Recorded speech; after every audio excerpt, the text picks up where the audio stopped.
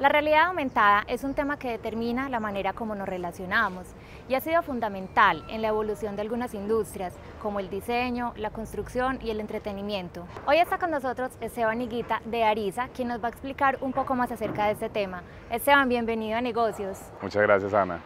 Esteban, ¿en qué consiste la realidad aumentada? Es muy importante hacer esa claridad de qué es realidad aumentada y qué es realidad virtual y cuál es la diferencia.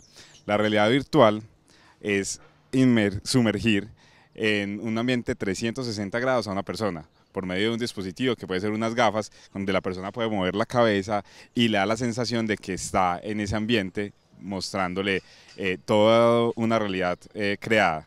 En cambio, la realidad aumentada, estás viendo la realidad, pero te ponen unos objetos virtuales que no existen realmente. Entonces, para eso se utilizan la cámara de algunos dispositivos para mostrar esa realidad aumentada. Esteban, eh, ¿cómo nace la realidad aumentada y en qué sectores de la industria la podemos ver? La realidad aumentada nace en un contexto de entretenimiento, en los videojuegos principalmente. Después se fue llevando a otros campos debido a su utilidad y sus grandes aplicaciones en otras industrias. Por ejemplo, ahora la realidad aumentada se está aplicando en otros campos como lo es la medicina, la visualización arquitectónica, la construcción, incluso en la industria se está aplicando actualmente para tomar datos de las máquinas y de los procesos.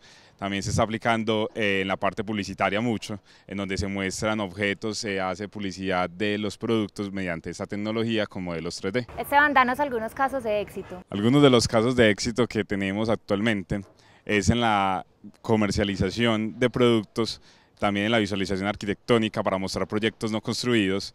Hemos trabajado con empresas farmacéuticas donde le muestran a los visitadores médicos cómo es eh, la enfermedad, qué consecuencias tiene y cómo puede los productos de la farmacéutica ayudarle a los pacientes y todo esto mediante estas tecnologías. Esteban, muchas gracias por estar en este programa. Cuéntanos cómo podemos encontrarte. Gracias a ti, Ana, por la invitación. me pueden encontrar en aristadev.com o en Facebook como Aristadev también. Gracias. Este es Negocios para aprender y disfrutar del mundo empresarial.